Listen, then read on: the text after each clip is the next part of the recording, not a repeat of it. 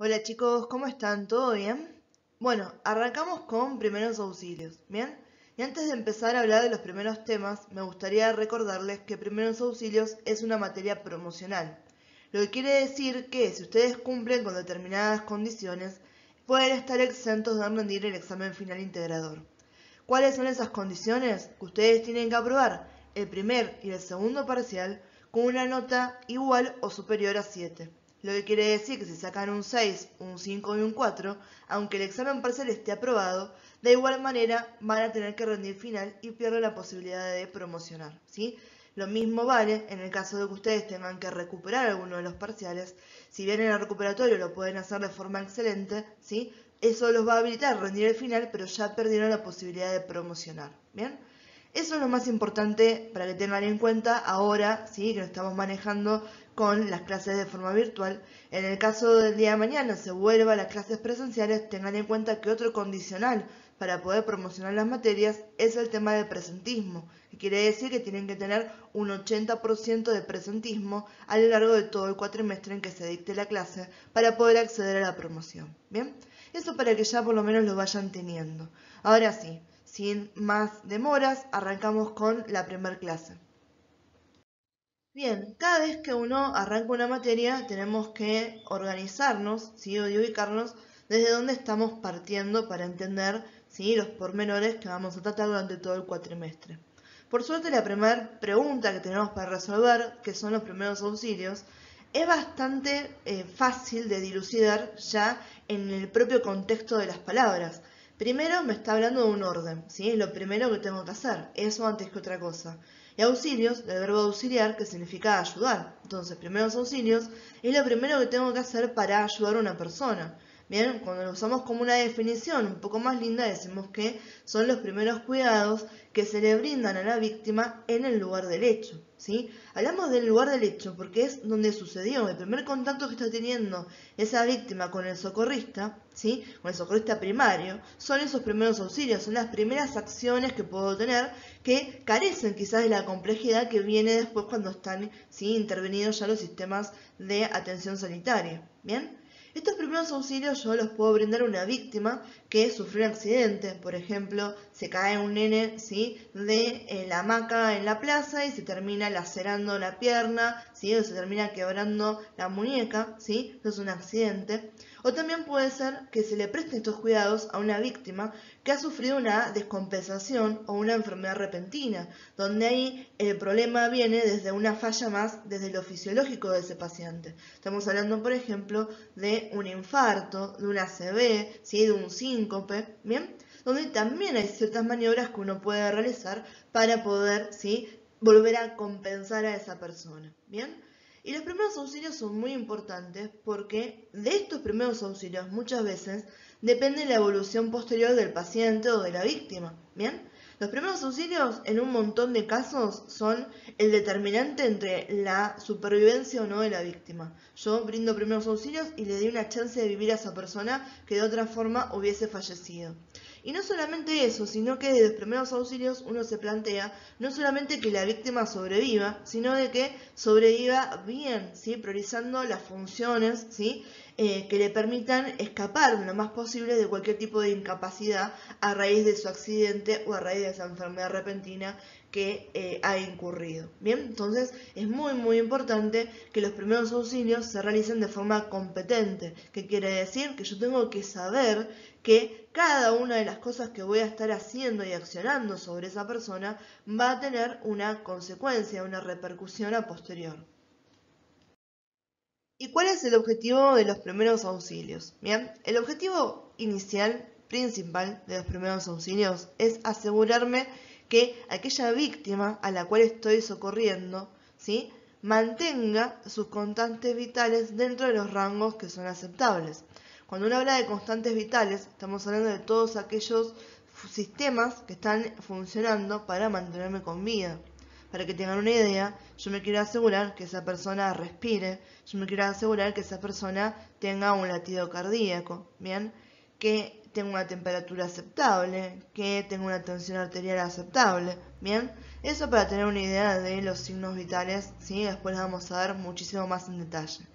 Ahora, si ustedes prestan atención a cada gráfico que tienen en pantalla, ven que de cada uno de los escalones que tienen tres, va surgiendo una flechita. ¿Por qué es esto? Porque tiene relación una cosa con la otra. Yo, para asegurar el mantenimiento de las constantes vitales de la víctima, tengo que incurrir en ciertas acciones, ¿sí? Sobre esa persona, ¿bien? Para socorrerla. Ahora, ¿qué es lo principal que tengo que tener en cuenta? Que cada una de mis maniobras sea en pos de beneficiar a esa persona. Nunca mi maniobra tiene que resultar en agravar el estado general de la víctima. Y de acá viene la importancia de lo que tenemos en el tercer escalón. Solo debo hacer aquello para lo que esté entrenado. Si yo hay algo que no lo sé hacer, si no tengo la información, no tengo el entrenamiento, no tengo idea de cómo hacerlo, no lo hago. Me limito solamente a poder hacer aquello en lo que estoy competente. ¿Bien? Porque de otro modo puedo incurrir en el segundo escalón, puedo agravar el estado general de la víctima. Y obviamente en vez de ayudarlo estamos haciendo una acción que es totalmente contraproducente. ¿Bien?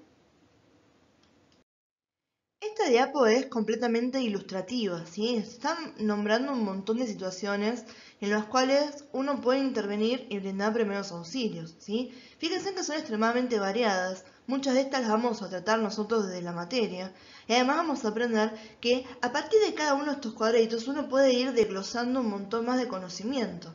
Puedo hablar de una asfixia o puedo hablar de un ahogamiento por agua. ¿sí? En los dos casos, el paciente o la víctima está teniendo un problema con respecto a la forma de adquirir el oxígeno necesario para vivir. ¿sí? Puede ser por un objeto que eh, impide el pasaje de aire, puede ser por un daño a nivel fisiológico, por una complicación de una patología, Puede ser en el caso de agua porque ahora tengo un elemento ¿sí? que está ocupando el espacio en los pulmones como sería este líquido. ¿bien? Entonces ahí tenemos un montón de cosas ya en dos cuadraditos.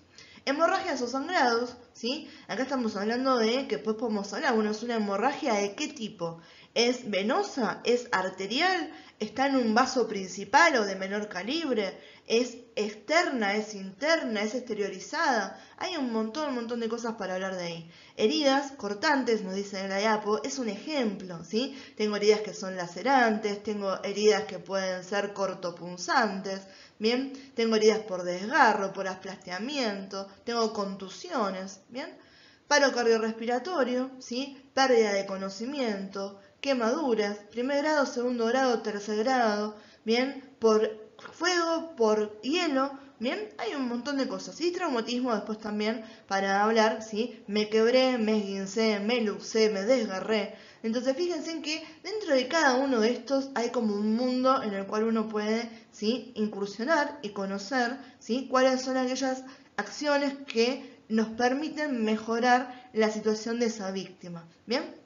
Entonces, esto es simplemente, como les comenté, ilustrativo, para que tengan una idea del gran mundo ¿sí? que nos compete dentro de lo que es primeros auxilios. Hablemos un poco de las premisas ¿sí? de los primeros auxilios, o sea, cuáles son aquellos puntos que me van a ayudar y que tengo que tener en cuenta para lograr mi objetivo. Hablamos de tranquilidad, hablamos de composición del lugar, de movilizar al herido y de evitar actuaciones intempestivas. ¿Bien? Muchas de estas cosas van a ver que ya algo estuvimos hablando, ¿sí? porque nos lleva la lógica misma a entender por qué son importantes. ¿bien? Pero vamos a enumerarlas ¿sí? una por una si nos quedamos sin ningún tipo de confusión. Lo primero es la tranquilidad. ¿sí? Cuando hablamos de tranquilidad, estamos hablando de nuestra tranquilidad. Yo como socorrista primario, que estoy accediendo a una escena, tengo que estar tranquilo, tengo que evitar el pánico. ¿sí? De otro modo, voy a incurrir en acciones que no son lógicas, que no son objetivas, ¿bien? Puedo perder información, ¿bien? Y además voy a perder dominio de la escena, dominio de la situación. Piensen lo siguiente, ¿sí? Si yo estoy yendo a ayudar y estoy en ese estado exaltado de pánico, donde uno tiene miedo, ¿sí? Donde hace que las acciones sean eh, dubitativas, ¿bien? Donde eh, uno está con un nivel de, eh, de, ansiedad que nos lleva de vuelta a, perder información porque no estamos pudiendo procesar como corresponde por este estado de pánico. Imaginen cómo está la persona que está accidentada o cómo está el familiar de esa víctima, bien, que tiene una persona querida, amada, que ahora está teniendo un accidente y no sabe cómo afrontarlo porque no tiene idea desde el punto de vista de acciones sanitarias de cómo accionar. Si yo eso me sumo con mi ansiedad, con mi miedo, con mi pánico, vamos a retroalimentarnos, ¿bien? Y va a ser un desastre eso, ¿sí? No se va a llegar a ningún lado, se va a incurrir en un montón de errores, ¿sí? Y puede resultar extremadamente perjudicial para esa persona. Entonces, estar tranquilo cuando uno ya sabe que cuenta con los conocimientos para accionar, ¿sí? Eh, y poder transmitir esa tranquilidad hacia la víctima y las demás personas que estén en, la situación del hecho es extremadamente importante porque eso es lo que realmente va a permitir que uno domine la escena. Uno tiene que dominar sus emociones y también poder trabajar con las emociones de las personas que están a su alrededor. De otra manera es muy difícil. Ustedes tienen una idea que el que toma la posta como socorrista primario es la persona que se vuelve referente en ese momento y el cual tiene que adquirir una posición de líder, ¿sí? Una posición de líder no nos puede dar lugar, ¿sí? A dudas, no nos puede dar lugar a pánico, ¿sí? Tiene que ser de un punto de vista objetivo, tiene que transmitir seguridad y tiene que actuar de forma consecuente, ¿sí? Por eso hablamos que la tranquilidad es fundamental. Después algo que es muy importante, ¿sí? Habla de composición del lugar, ¿sí? Yo tengo que tener una idea de qué pasó, qué tipo de accidente es el que estoy afrontando y cuáles son las consecuencias para la víctima y para mí, que es lo que después vamos a hablar un poco más en profundidad cuando hablemos de asegurar la escena. Yo tengo que tener noción, ¿sí? De dónde me estoy metiendo. Va a haber, fue un accidente eléctrico, hay electricidad en algún lado que yo puedo quedar pegado también, hay una fuga de gas, hay peligro de que se desplome el edificio, eh, hay tránsito, si esto estamos en el medio de una autopista muy concurrida, eh, hay posibilidad de eh, contagiarme de algo. Esa persona ¿sí? que está que tiene un problema, bien, ¿qué le pasó? Porque yo tengo que saber sobre qué acciono rápidamente. Bien, entonces de eso estamos hablando en formas generales de la composición del lugar. Después hablamos de movilización del herido, ¿bien? Y acá he entrado que es importante que ya desde entrada lo tengan ustedes ¿sí? en la cabeza, es que yo solamente movilizo al herido cuando es extremadamente necesario.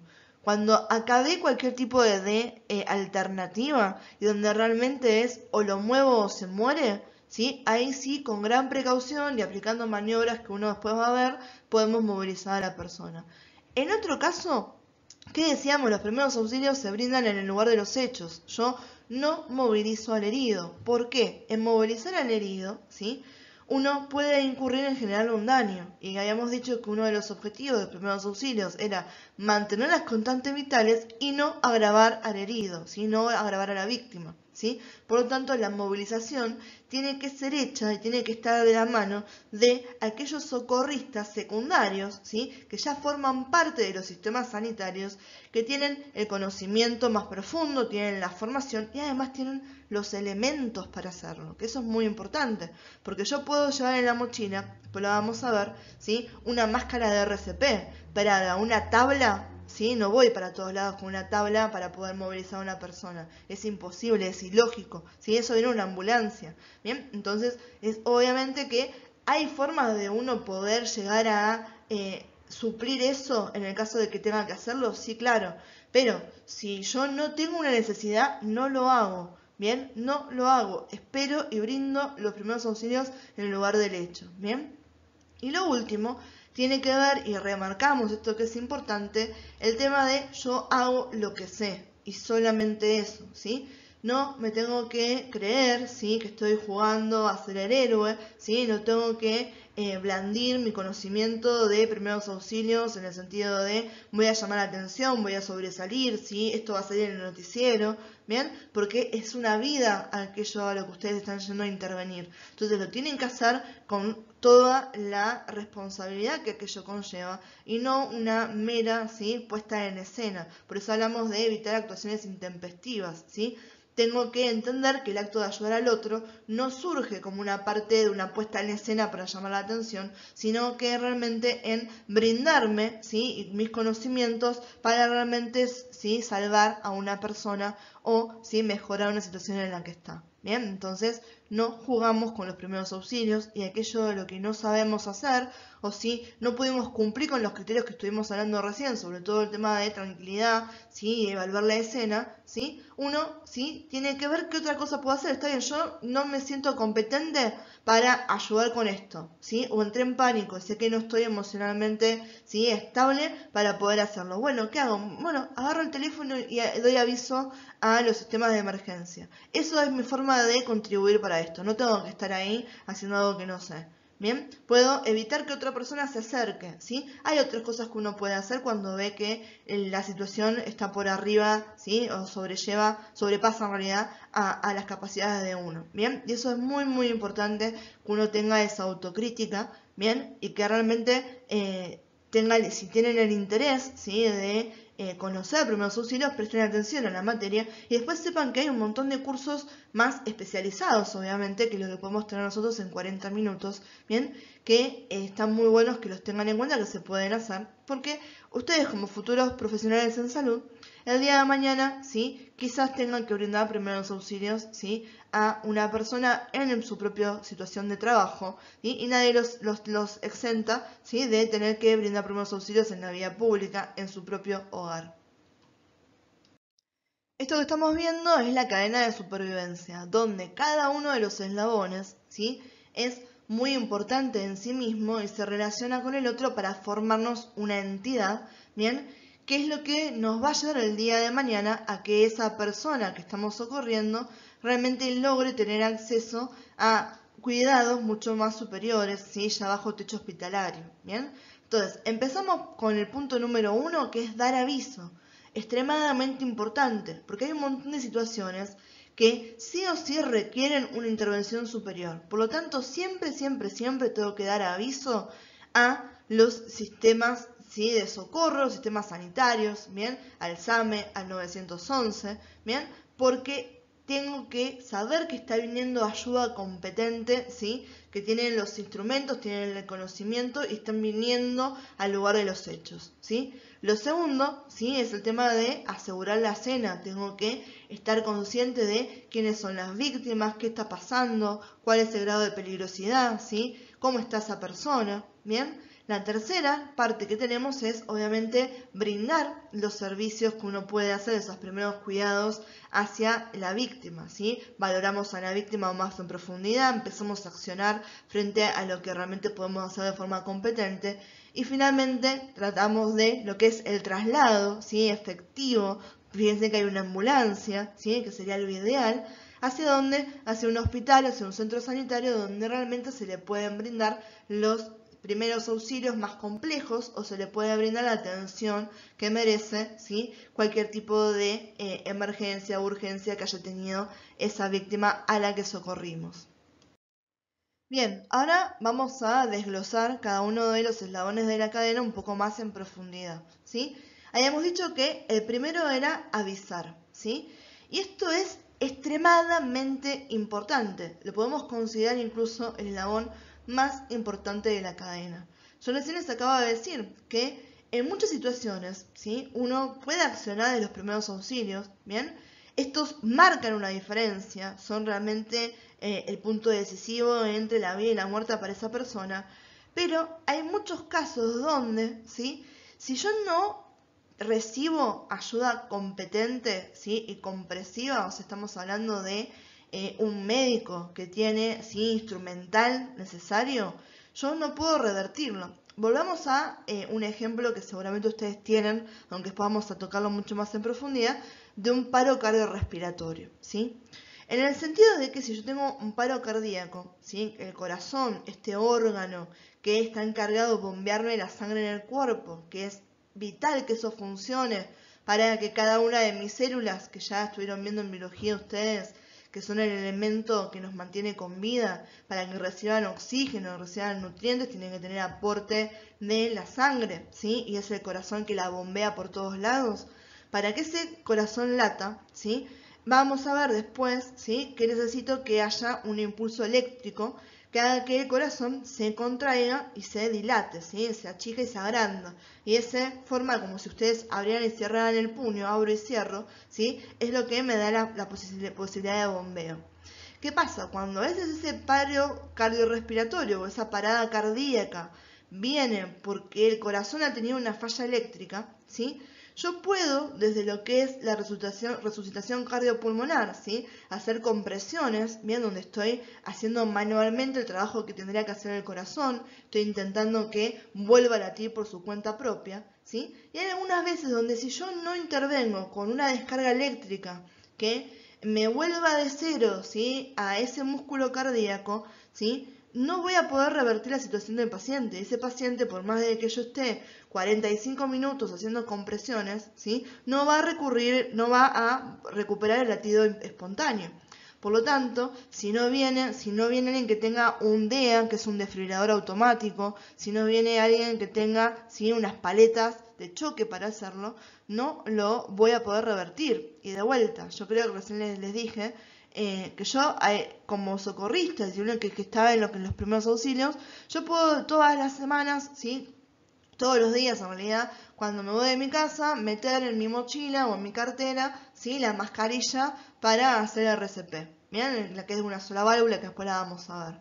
Ahora, el DEA, ¿sí? yo no tengo acceso a eso, sale un montón de dinero, ¿sí? además no tienen peso, Miren, no puedo andar todo por toda la vida, todos los días con un DEA en la mochila. Bien, eh, entonces, claramente no voy a tener ese elemento ¿sí? a disposición temprana ¿sí? Eh, en algunas circunstancias. En otras sí, porque en muchos lugares van a ver, si ustedes prestan atención, que estos desfibriladores están en los shoppings, ¿sí? en las facultades, ¿bien? Pero hay otras situaciones donde no, si yo ahora salgo a la calle y veo que tengo a mi vecina que se está infartando, ninguno de los vecinos de acá tenemos un desfibrilador. Entonces sí o sí tiene que en un momento llegar esa eh, ayuda para poder revertir la situación. Entonces, desde todo esto, el ejemplo, ¿para qué? Para que les quede bien en claro que dar aviso es extremadamente importante. Yo me tengo que asegurar que la ayuda competente, especializada, esté en camino. No lo puedo dejar al azar. ¿Bien? Entonces, dar aviso a los sistemas de emergencia es el primer eslabón de la cadena y lo tenemos que hacer de forma correcta, porque necesitamos que estén en marcha aquellos mecanismos que son realmente los que van a terminar salvando la vida, ¿sí? Entonces, y acá hay una diferenciación entre si yo como socorrista soy quien da aviso o si estoy ocupado haciendo maniobras necesito que otra persona dé aviso. Si el socorrista primario es el que da aviso, ¿sí? acá es muy importante ser claro y conciso al momento de especificar qué está pasando. Tengo que decir bien dónde estoy, el lugar de los hechos, porque si no, a dónde van a ir, ¿sí? Tengo que decir qué tipo de accidente, ¿sí? Dentro de lo que son mis capacidades para dilucidarlo. Hubo un accidente de tránsito, alguien ah, tuvo una amputación, ¿sí? Alguien se descompensó, ¿sí? Eh, ¿Es una persona? ¿Son dos? ¿Son cinco? ¿Son veinte? ¿Es algo masivo? Cuántas ambulancias necesitamos, ¿sí? Entonces, el número de accidentados es importante, ¿sí? Si a simple vista podemos saber si el, estado de la víctima está consciente, está inconsciente, respira, no respira, ¿bien? Y también el estado de la situación en general, ¿sí? Hubo un accidente, se está prendiendo fuego algo, ¿sí? Son todas nociones que les dan idea a estos sistemas de emergencia en cómo responder de la mejor manera posible, en cuántos ¿sí? Em, personal van a estar enviando, cuántas ambulancias, si tienen que incurrir a los bomberos, ¿sí? Y así un montón de, cosas en pormenor. Bien, entonces uno tiene que ser muy claro ¿sí? cuando da esta especificación. Igual que tranquilos que uno cuando llama ¿sí? al 911, el operador que está del otro lado tiende a guiar a la persona que le responda estas pautas que son muy importantes para determinar ¿sí? qué es lo que se va a hacer. Ahora, la contrapartida es lo que les decía recién, ¿sí? si yo como socorrista primario no soy quien está dando aviso, sino que indico a otra persona que lo haga. En este caso, yo tengo que ser extremadamente claro, ¿sí? E indicar bien y asegurarme de que esa persona esté dando aviso, ¿sí? Entonces uno señala a un espectador, ¿sí? Alguien que tiene alrededor, si lo conocemos buenísimo, si hiciéramos dos amigos, ¿sí? Yo hago, ¿sí? Las maniobras y te digo, vos, che, llama por teléfono, pero si no conozco a nadie, ¿sí? Lo que puedo hacer es indicar algún elemento particular para que no haya ninguna duda de que yo te señalé a vos, ¿bien? Porque ¿qué pasa? Muchas veces, ¿sí? Pasa que ninguno llama porque se piensa que alguien ya llamó. Dice, no, ¿para qué voy a llamar yo si ya llamó este? Y puede suceder que nadie había llamado. Entonces yo me tengo que asegurar que por lo menos no me interesa que después 20 personas más estén dando aviso a 911. Yo como socorrista me tengo que asegurar que por lo menos una persona y tengo ¿sí? 100% de seguridad de que esa persona dio aviso. Entonces, puedo indicar algún elemento particular. Vos, el de la remera azul, señor, usted, el de la remera roja, ¿sí? Por favor, llame al 911, ¿bien? y le decimos, y avíseme una vez que terminó de hablar. ¿sí? De otra manera que es importante, ¿sí? porque nos permite a nosotros asegurarnos de que esa persona realmente llamó, se comunicó efectivamente ¿sí? y que la ayuda está en camino. No podemos dejar al azar este paso tan importante. ¿Sí? Entonces, o lo hacemos nosotros de forma clara y concisa, dando las especificaciones que nombramos recién, o nos aseguramos que alguno de los espectadores al cual nosotros identificamos de forma clara ¿sí? y le damos instrucciones ¿sí? bien, bien claras, que esa persona llame y nos avise que llamó. Bien, esto es importantísimo. El segundo eslabón es el de evaluar la escena, ¿sí? De esto ya estuvimos hablando, ¿bien? Y antes de que sientan que es una cuestión egoísta, ¿sí? Piensen lo siguiente, yo no puedo ayudar a nadie si también termino accidentado, ¿bien? Y ha habido casos de esto, ¿sí? Fíjense que nos dice que a veces después de un accidente el peligro puede persistir, puede seguir habiendo fuego, un escape de gas, electricidad, una avenida transcurrida, ¿bien? Eh, y ha habido ejemplos, ¿sí? sobre todo con los escapes de gas, que son muy difíciles de detectar, ¿bien? Y que tienen a veces un accionar más rápido de lo que uno quisiera pensar con la intoxicación que esto conlleva y la pérdida de conocimiento, donde han muerto socorristas por ingresar a una escena sin evaluarla antes, ¿bien? Entonces, yo debe tener, ¿sí? Un accidentado que digo, está Josecito atrapado en el, en el edificio. Bueno, entró primero, ahora tengo dos atrapados en el edificio. Entró otro más, tengo tres. Entró otro más, tengo cuatro, ¿sí? Y en ese caso, ¿sí? si damos bien a lo trágico, en vez de un muerto tengo un 4. ¿sí? O si damos un poco más de esperanza, en vez de tener que ayudar a una persona, ahora tengo que tener los recursos y la capacidad de ayudar a cuatro. ¿sí? Por lo tanto, si yo soy el socorrista, me tengo que asegurar ¿sí? mi seguridad antes que todo. Yo tengo que pensar primero en mi seguridad. ¿sí? Y la de los más recalistas que vienen conmigo, ¿sí? Después está obviamente la seguridad de la propia víctima, ¿sí? que es la que está pasando por el hecho. Pero primero uno tiene que asegurar la cena, ¿sí? De bueno, se paró el tránsito, ¿bien? Veo que no hay chance de que venga así el 132 y me lleve puesto en el medio de la avenida, así encallado. Listo, voy al medio de la, de la calle a socorrer a la persona que tuvo un accidente, ¿bien? Me doy cuenta, sí, que no hay, sí, se cerró la llave de gas y no hay más chance de que haya gas en ningún lado, que está ventilado y demás, o que tengo los elementos para poder hacerlo, bueno, ahí voy y, veo ¿sí? cómo ayudo a la víctima. Entonces, súper, súper importante evaluar la escena. Si uno no evalúa la escena, ¿sí? corre el riesgo de crear más víctimas. ¿sí? Y al crear más víctimas, la víctima original nadie la está ayudando. ¿sí? Entonces es algo que no ayuda absolutamente a nadie y perjudica a todos importantísimo el tema de evaluar la escena y asegurar la escena antes de iniciar ningún tipo de primeros auxilios. Y ahora sí, finalmente, una vez que yo ya di aviso, una vez que aseguré la escena y que sé que puedo accionar, tengo que ahora valorar a quién, a los accidentados. ¿Bien? En el caso de que haya más de un accidentado, yo rápidamente tengo que establecer un orden de prioridad de atención. ¿sí? Imagínense esto, acaba de, estoy como con los accidentes de tránsito, acaba de chocar un auto, ¿sí? Veo que hay dos personas, una persona que se está agarrando la cabeza, que me mire y me dice me duele, me parece que me lastimé, y tengo una persona que está completamente inconsciente, ¿sí?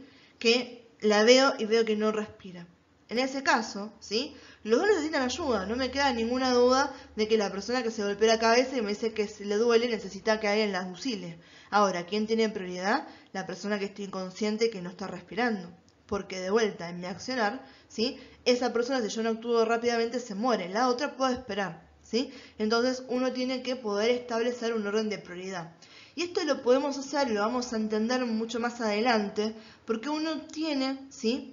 Un orden de eh, actuación necesario para brindar los, primeros auxilios. ¿sí? Hay algo que se llama valoración primaria del paciente, que nos lleva ¿sí? por todo un recorrido de los signos vitales, ¿sí? presencia, ausencia y además calificación de los mismos. ¿bien? Eh, ¿Está o no está? Bien o mal, ¿sí? para tener una idea. Eh, y eso nos lleva desde una forma que es está eh, esquematizado, está ordenado, ya eso lo vamos a ver más adelante, pero tengan una idea que cómo uno establece ese orden de prioridad de atención en base a lo que se llama la valoración primaria del paciente, que nos lleva a evaluar qué cosa a los signos vitales del mismo. Bien, entonces esto es lo primero que uno tiene que hacer al momento de encarar a la víctima. Tengo que evaluarla, tengo que hacer la evaluación primaria y a partir de eso que yo ya sé qué es lo que necesita, empiezo a accionar. Y en el caso de que haya más de una víctima, esa evaluación primaria, que es rápida, se hace en segundos, me tiene que determinar a mí un orden de prioridad de atención. ¿A quién socorro primero? ¿Quién es aquel que corre riesgo de vida más inminente? Bien, y después obviamente ya viene el resultado de que nosotros pudimos dar aviso a los sistemas de salud, ¿sí? En este caso viene la actuación de los servicios de respuesta primaria, esa ambulancia que está llegando al lugar de los hechos, ¿bien? Eh, con médicos, ¿sí? Acá la figura de paramédico no existe, eh, son médicos emergentólogos los que están en la ambulancia, enfermeros, eh, ambulancistas el que maneja. Entonces llegan esas personas que tienen los elementos y tienen la capacidad para hacer frente a situaciones más complejas, ¿sí? Entonces, una vez que llegan los servicios de socorro, ¿sí? Eh, todos los integrantes de la dotación van a realizar una evaluación conjunta y van a tomar control de la situación, ¿sí? ¿Cómo controlar la situación? Siempre es importante que van a despejar a los curiosos no cooperativos, ¿sí? Ustedes saben que la gente es así, ¿sí? El morbo que tienen frente a un accidente. No estás ayudando a nada, estás, eh, estás entorbando en el medio, ¿sí? Pueden regular el tránsito, pueden establecer un orden de prioridades sanitarias, hacia dónde se traslada, a quién primero, ¿sí? Y obviamente, después de que ellos evalúan toda ¿sí? la situación y a la víctima, empiezan ahora sí a proceder de acuerdo a las necesidades de cada una de las víctimas y a ocuparse ellos ¿sí? de que del traslado hacia las instituciones sanitarias donde se les brinde la eh, atención especializada. Entonces, ahí termina completamente la cadena, ¿sí? Tengo un transporte adecuado, de vuelta una ambulancia sería lo ideal, ¿sí? Y llego a donde la atención hospitalaria, ¿sí?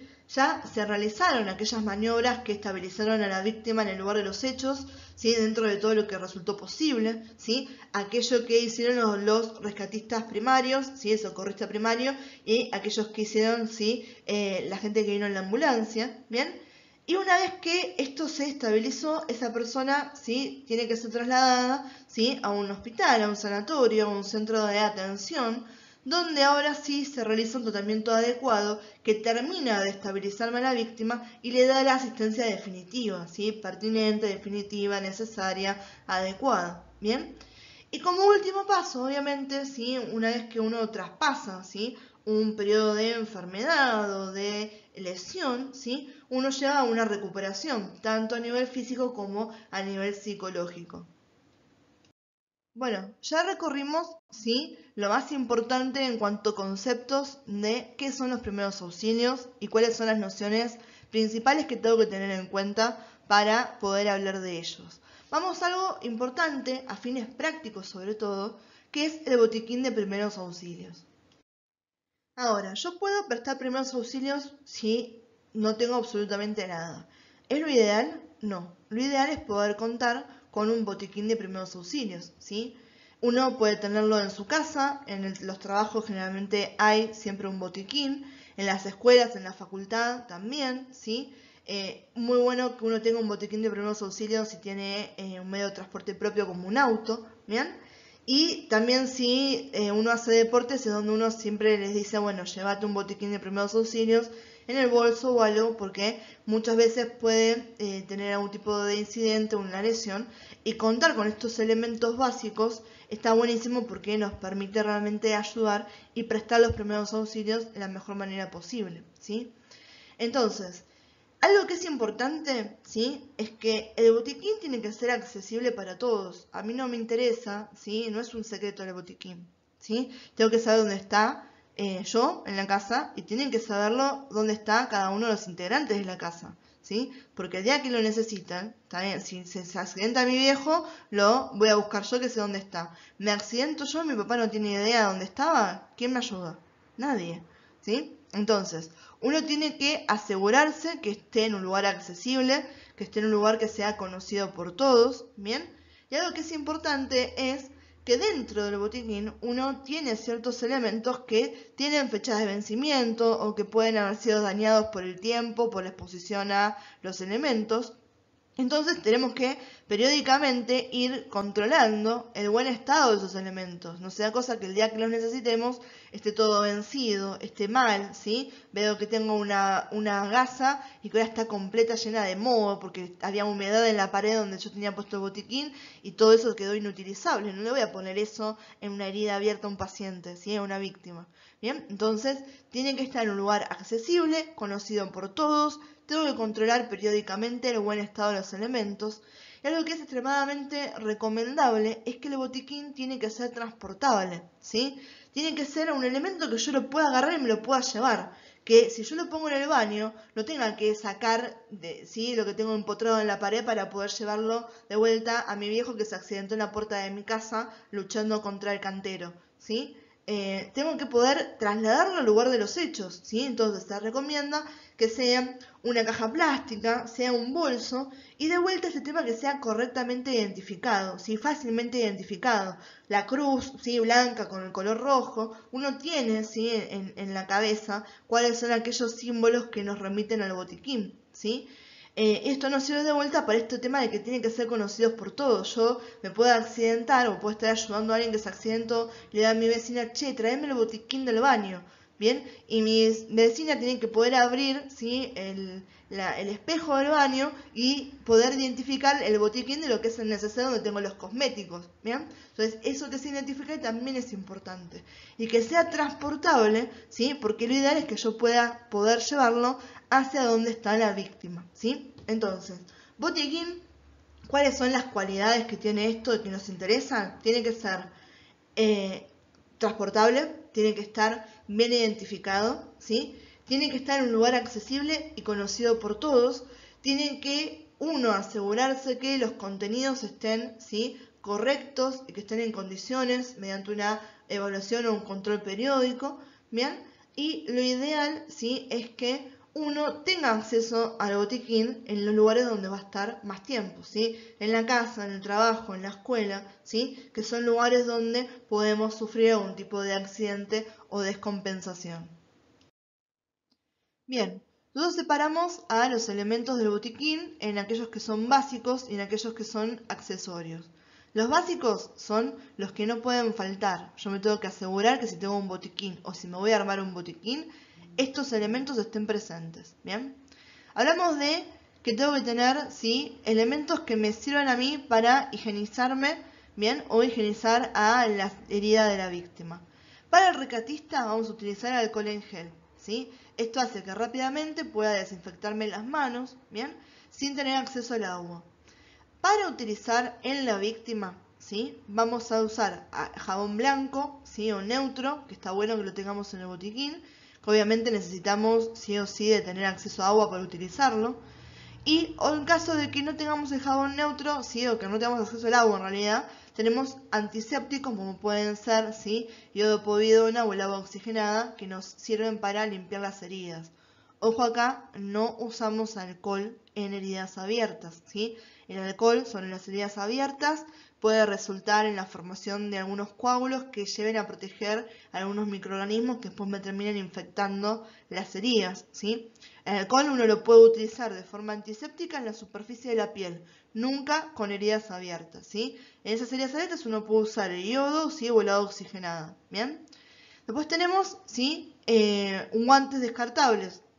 Los de látex son los mejores, hay unos que son más baratos que son los de eh, nitrilo eh, pero bueno, los de látex son los que uno quizás consigue más rápidos y son más fáciles de utilizar, por eso son más rígidos. ¿bien?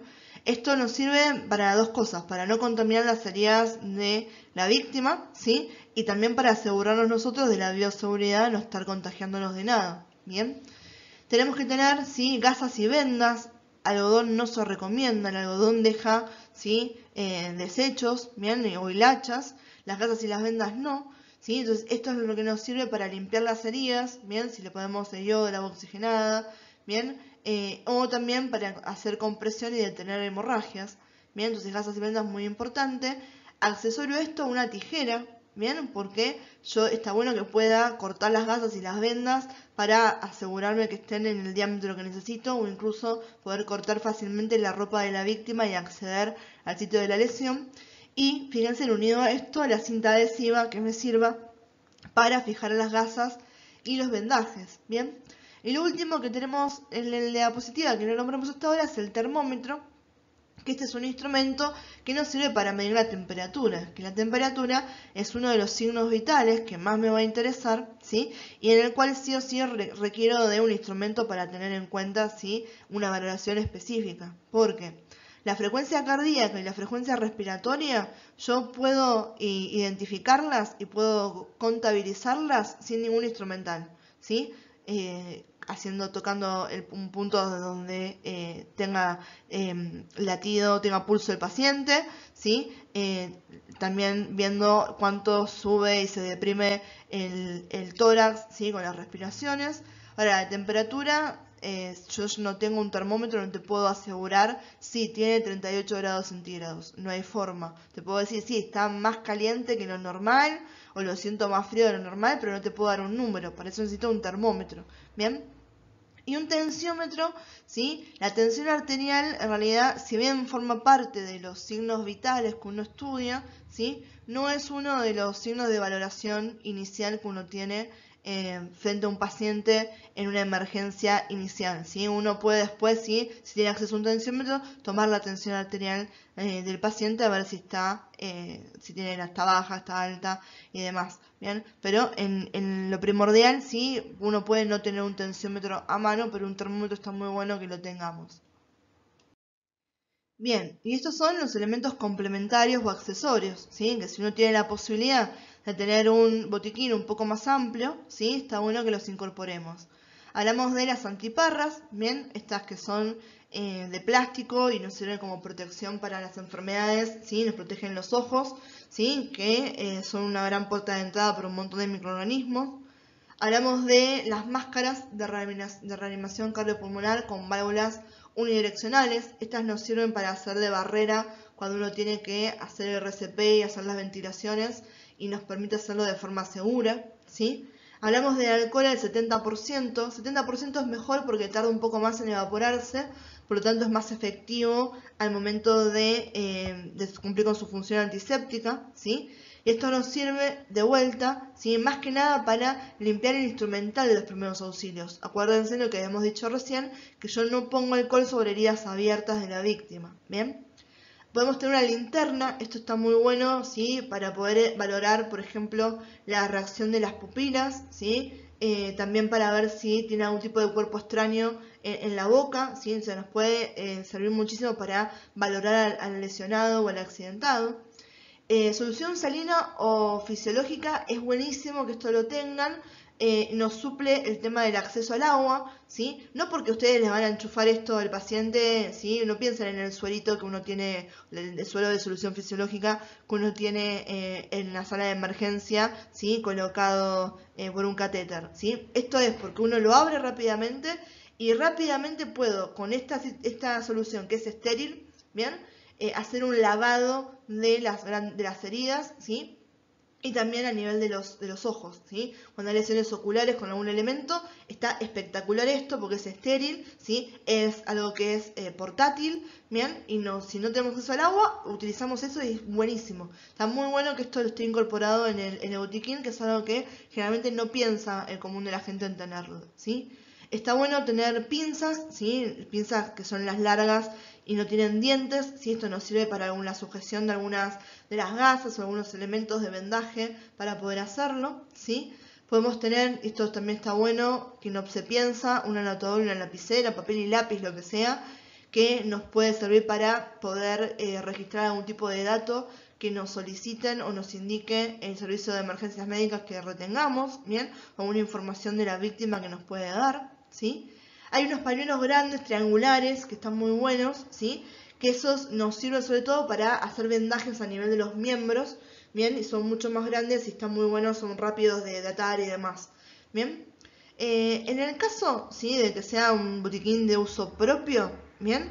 Puede incluir los medicamentos utilizados habitualmente y atención acá, que hayan sido recetados por el médico, ¿sí? Entonces, acá estamos hablando de que son los medicamentos y que van a ser utilizados para aquellas personas a los que fueron prescriptos. Yo, desde los primeros auxilios, no medico absolutamente a nadie, porque no sé los efectos adversos que eso puede tener en la persona, no sé si esa persona puede tener una reacción alérgica, y no soy un médico, por lo tanto no puedo medicar ni puedo darle nada a un paciente de los primeros auxilios, ¿sí? Ni soluciones tópicas ni nada que se ingiera, ¿bien? Entonces, este tema de que se pueden incluir los medicamentos son para uso personal y son medicamentos recetados y son para que los use aquella persona a las que fueron recetados, ¿bien?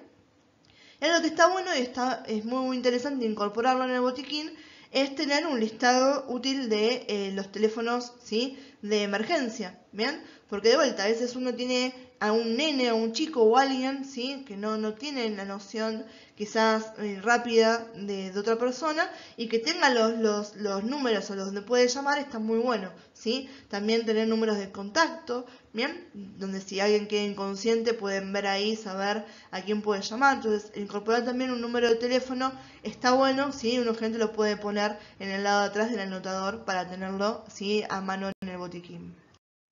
Bien, y esta foto es simplemente para ilustrar alguna de los elementos, sobre todo de la segunda hoja. Hay unos que son muy obvios, el anotador, ¿sí? la solución fisiológica, ¿sí? el, como es el alcohol en 70%, la linterna, eso lo conocemos todos, ¿bien? Pero esto me gustó mostrárselos, ¿sí? Estas son las antiparras de las que les hablaba, de protección. Estas son las pinzas, fíjense, son pinzas largas, no son dentadas, ¿bien? No piensen en la pinza de la caja de herramientas, ¿sí? Esta es la máscara de resucitación cardiopulmonar. Ven que tiene una sola válvula. Esto no permite que el flujo de aire ¿sí? vuelva, reingrese al rescatista, sino que es unidireccional. Va de acá hasta acá. ¿sí? Fíjense que es súper portátil. Bien, y estos son los, los, panuelos triangulares que sirven para vendar a los miembros que se estaban nombrando en la diapo pasada. Bien chicos, con eso terminamos lo que fue la primera clase. Espero que se haya entendido. Como siempre, cualquier tipo de duda, cualquier tipo de consulta que me quieran hacer, saben que tienen todos los canales de comunicación disponibles. Bien, les dejo un saludo, nos vemos en la próxima clase.